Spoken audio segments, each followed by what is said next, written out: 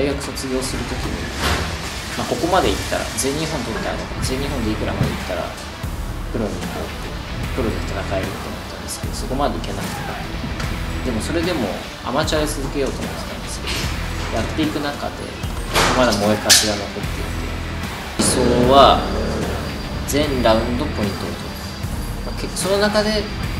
まあ、結果として KO がついてくればいいっていうのは僕のですねとりあえず、まあ、必ず勝つっていうのが絶対条件なんですけどまた来年につながる勝ち方をして、あ、やっぱ僕も冠狙いて狙っていきたい。その位置に行くっていうこと。まあ、来年とかにランカーとかダッシュランキングダッシュっていうのはやっぱ僕の中ではいつも目標なんでそのための飛躍の一戦にしたいと思ってます。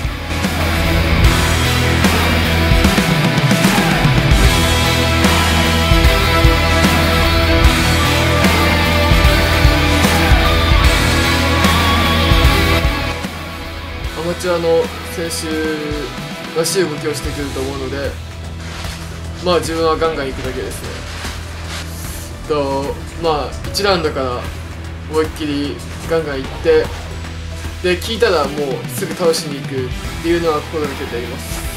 まあ1ラウンドからまあガンガン行ってチャンスがあれば